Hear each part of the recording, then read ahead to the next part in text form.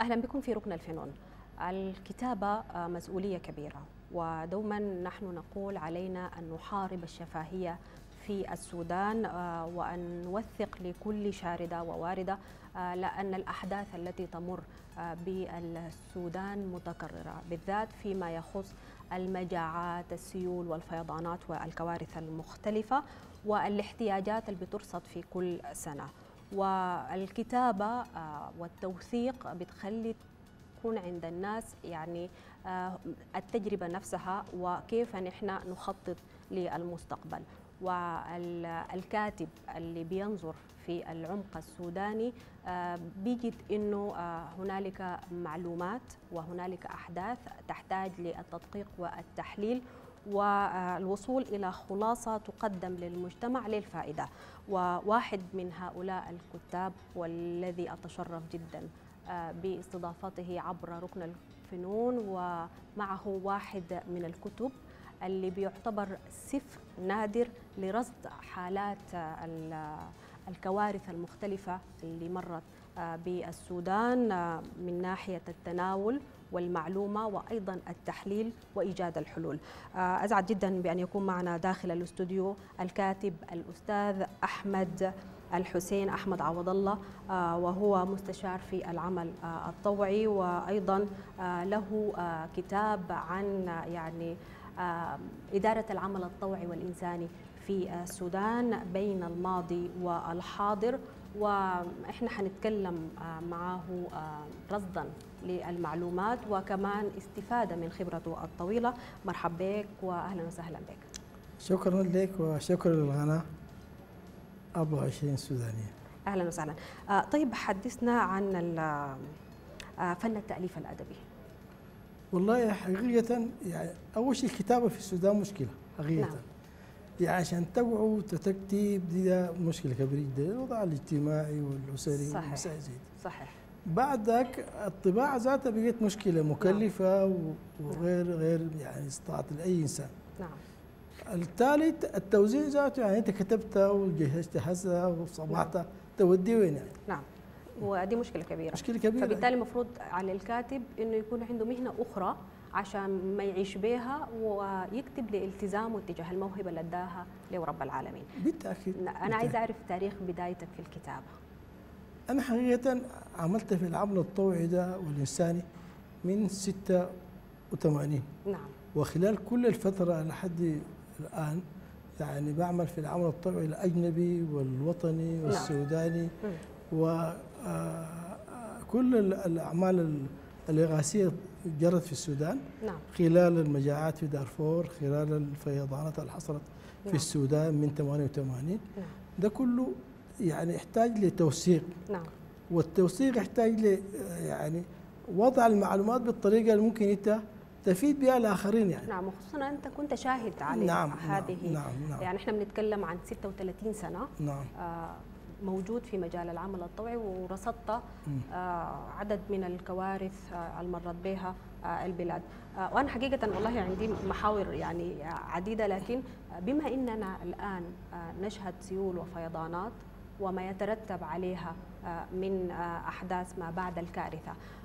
طبعا أنت من 86 فبالتالي كنت شاهد على 88 وهي 88 الناس بتخطها علينا كمضرب مثل. فعايزينك تكلمنا ما بين 88 و 2022 يعني الاختلافات الحاجة اللي كانت متوقعة هل هي زي ما هي ولا الآن الناس تطورت أكثر ولا ما الذي يحدث؟ الحقيقة في 88 يمكن التأثير كان في الخرطوم أو العاصمة القومية أم درمان وبحر أم درمان. يعني الناس كانت ما في كهرباء نعم. ما في خبز ما في مويه شراب ثلاثة يوم. نعم. لكن كانت كلها في في ولاية الخرطوم. نعم.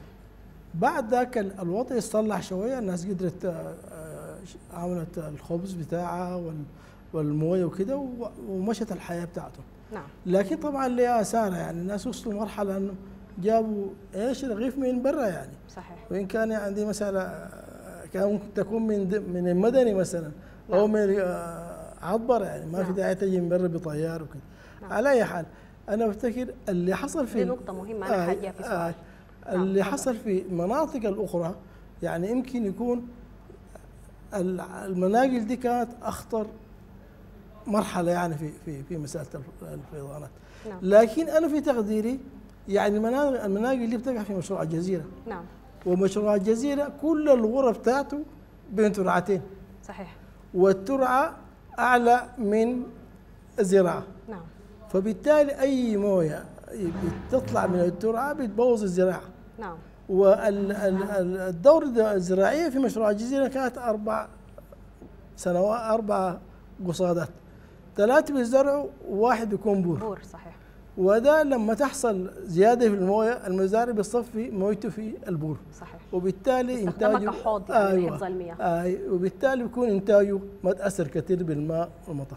نعم. وفي نفس الوقت حفظ موية إذا احتاجها في المستقبل. نعم. نعم. ثانيا ال- ال- الخطة الإسكانية حتى بقت في القرى نعم. بنفس الصورة في الع- في العاصمة. يعني توزيع ال- ال- القطع للناس وبالقروش وما عارف إيه وكده.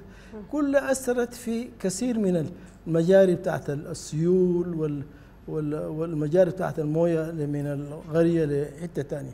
نعم. تاني ما في في في الجزيرة ما في قرية تقدر تصرف الماء بتاعت من المطر في بحر ولا في حتة إلا حتة برا يعني. نعم. وأنا أفتكر دي المشكلة الأساسية اللي حصلت لناس المناقل نعم. لأنه أصلا بقت ما في مساحة عشان يتصرفوا فيها في المويه. نعم. ثانيا بقت محتاجين انهم يعني يدبروا نعم. نفسهم. طيب آه، ما في آه، من خلال وجودك لأكثر من آه، 30 سنة في مجال ال- العمل الطوعي والإنساني آه، ما في خطوات استباقية للكوارث وال... طبعاً. نعم. طبعا. أول شيء إدارة الكوارث دي إدارة متخصصة. نعم. يمكن يكون من الأشياء المهمة جدا في إدارة الكوارث. يعني فيها أربع نقاط أساسية في إدارة الكوارث اللي هي آه، آه، تخفيف الكارثة نعم. إعادة آه، إعادة الناس لحالتهم الطبيعية نعم. آه، مد ال- الناس باحتياجاتهم. يعني هي أربع خطوات يمكن أقول لك لو نعم آه، تفضل هي موجودة عندنا في ملخصنا آه للكتاب آه آه هي موجودة هنا. آه إنه آه هنالك آه يجب آه، أن آه، تتبع آه، في آه، حال وجود الكارثة. طبعاً. ممكن تقول لنا آه. نعم.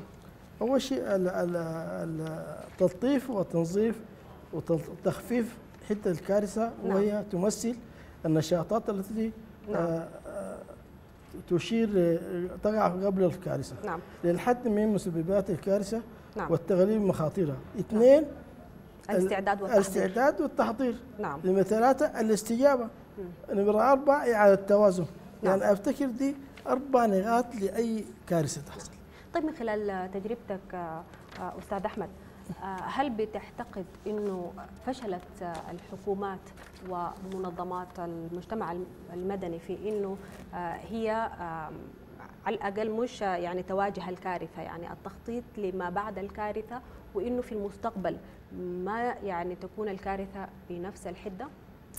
يعني أديك مثال الإرصاد الجوي طلع نشر قال والله في أمطار غزيرة في الولاية الفلانية وال... كده يعني. نعم. قبل فترة. إحنا مشكلتنا في السودان في حاجة غريبة جدا عندنا. نعم. يعني رمضان بعد سبعة يوم ما بنشتري إلا قبل قبل الصيام بيوم. نعم. العيد نشتري يوم الوقفة. نعم. يعني دائما ما عندنا تفكير في أو تخطيط للاشياء دي نعمل لكن دوما هنالك حديث عن مشاريع واعدة مثل مشاريع حصاد المياه لأنه إحنا بيجينا في فصل الصيف بيكون في جفاف شديد يعني في بعض الم- المدن، لماذا لا تنفذ هذه المشاريع بصورة آه، حقيقية آه، خلال السنوات اللي أنت كنت موجود فيها آه، 36 آه، سنة في مجال العون الطوعي والإنساني؟ أول شيء حصاد الماء في المناطق زي القضارف. زي دارفور الجزيرة ده أصلا ممكن لأنه أساسا الجزيرة هي منطقة مخططة وواضحة السيستم بتاع الزراعة الري بتاعها واضح نعم لكن في القضارف يعني الناس تحتاط تعمل حصاد المياه نعم. في الخريف عشان يسقوا البهائم بتاعتهم الان دارفور تعاني أيوة، يعني أيوة. من سيول وفيضانات أيوة. يعني كان و- الأفضل أن تحصد هذه نعم المياه نعم آه. غير كده الناس بتشيل المويه لل- لل- للزراعة بتاعتها. صحيح. وكذلك في دارفور. نعم. وفي النيل الأزرق. يعني دي وفي شرق السودان وشرق أيضا. السودان. لأنه المنطقة دي محتاجة لأنك تكون عندك حفير. بالتالي حيكون عندك مطر كثير حسب ما معروف. نعم. وتستفيد من المويه دي في الفترة اللي ما في نعم. في جفاف يعني ما في مطر. نعم. لكن في الجزيرة بالذات ما, ما, ما, ما مستحيل تلقى لك تعمل يعني نعم. إلا في المناطق ال- يمكن البطانة ممكن تعمل فيها نعم. لكن الجزيرة الخضراء نعم لأنه لأنه السيستم- ذاتها آه، عندها آه، امتدادات على شرق السودان نعم، نعم، نعم. ومرورا إلى نعم. يعني بادية البطانة وإلى بادية الكبابيش يعني أيوه طيب آه، خلينا نرجع آه، لنقطة مهمة آه، طبيعة الإنسان السوداني آه، هو أبو مروة وهو زول الفزعة والبلحق الناس على المستوى الفردي هنالك نجاح كبير في إنه الناس بتمد يد العون لبعض. لكن التنظيم نفسه آه، تنظيم هذه الجهود في مؤسسات معينة آه، بيحصل فيها نوع من التأخير. واولا أنا يعني ده كلامي ده ما على الكل آه، لأنه عدد من المنظمات بتبادر وبتصل. وفي بعض الأحيان آه، يعيق إنه مثلا بالذات اللي مشوا للمناقل إنه الطريق حصل له انقطاع وهم ما قدروا يصلوا لكن آه، يظل المبادرين بالسرعه هم ما قدر الكارثة نفسها. فالمانع آه، شنو في آه، هذه الصفة السودانية الخالصة توظف في بطريقة جمعية. وحقيقة ال- ال- الجمعيات موجودة. يعني نعم. الآن في السودان خمسة ألف جمعية طوعية سودانية. نعم. منظمات. منظمات أو جمعيات يعني. نعم. كويس. وفيها يعني كم خمسين ولا كم ستين منظمة أجنبية. نعم. يعني غير العدد المنظمات السودانية بالمنظمات الأجنبية فرق كبير جدا. ولو افترضنا أنه الخمسة ألف منظمة سودانية دي نعم. للمناقل لو كل منظمة اتكفلت بأسرة. نعم. تفتكر يعني بس منظمة تكفل بأسرة؟ تجيب لها بطانية ناموسية نعم. أدوية كده. لكن المشكلة العمل الطوعي لسه هو في ال- الشكل التقليدي بتاعه.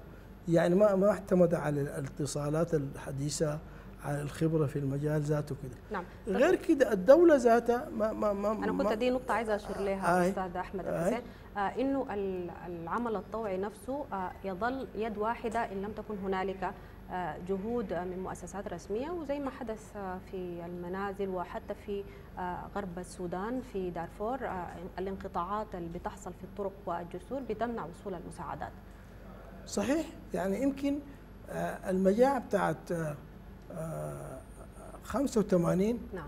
وقت حكومة نميري نعم. يعني الناس كانت مفتكرة أنه الدولة تعني المجاعة والنظام نعم. بيفتكر أنه هي ما في مجاعة في مشكلة بتاع الترحيل من المواد أو من القضارف أو من الزراعية لدارفور نعم. والحقيقة ما كده الحقيقة أنه فعلا في مجاعة. نعم. لكن أنا بفتكر الدولة ذاتها يعني في جو- جوانب كثيرة في قصورها في في في معرفة ال- ال- الحقيقة الموجودة شنو؟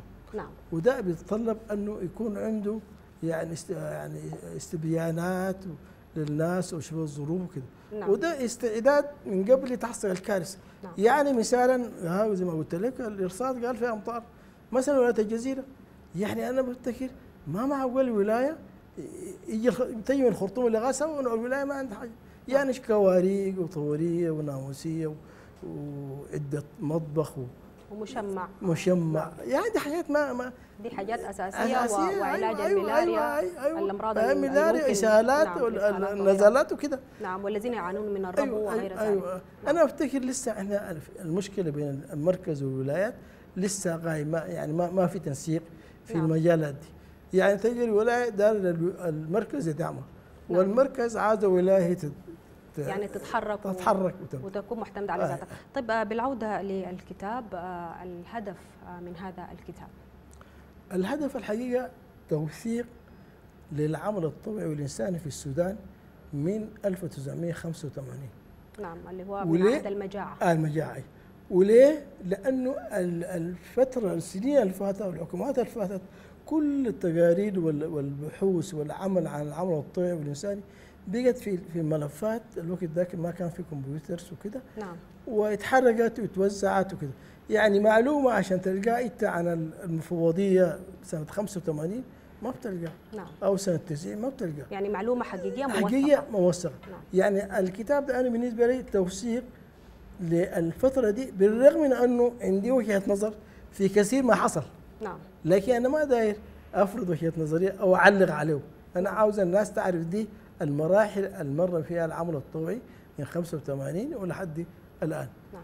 مشاكله ومقترحات له وعمله. يعني. نعم. لكن تفكيري في المستقبل يعني الكتاب ذاته يتعامل زي نقاش ووجهه نظر لي أنا ولغيري عشان نصل لحاجة مقنعه لكل الناس وجهة النظر المختلفه نعم. ويكون مفيد للأجيال المستقبل. نعم ونتمنى أن تستمر آه، هذه المحاولات في التوثيق للأحداث المختلفة سواء كانت كوارث بيئية أو سياسية من أجل آه، الاستفادة منها في المستقبل. وده جهد كبير منك آه، أستاذ أحمد الحسين أن تنتج كتاب يعتبر الآن هو الأهم على الإطلاق لأنه فيه آه، رصد للمجاعات والسيول والفيضانات المختلفة آه، خلال آه، أكثر من آه، 30 سنة. شكر وتقدير لك ولحضورك معنا. وأنا عايزاك توجه رسالة بما أنه أنت اشتغلت في نوع معين من الكتابة الرصدية والتوثيقية للكتاب اللي بيكتبوا في نفس المجال. أول حاجة آه، قبل ما أرد على سؤالك نعم. في حاجة أساسية في الكتاب ده. نعم. أنا ترجمت أكثر من سبع كتب كتبوها الأجانب كانوا في السودان هنا عن الإغاثة والمجاعة في السودان. نعم. وأخذت الجزء الج- الجانب بتاع السودان. نعم. يعني ده الحاجة ال- ال- السبعة كتب دي كلها أجانب أو ثمانية كتب. نعم. ما عندنا واحد كتاب واحد سوداني كتب عن ما حصل في دارفور. نعم. أو ما حصل في آه، كردفان. أنا بفتكر ده شيء مهم. غير نعم. كده ال- ال- الكتابة صعبة جدا ما سهلة. نعم. يعني صعبة ومكلفة.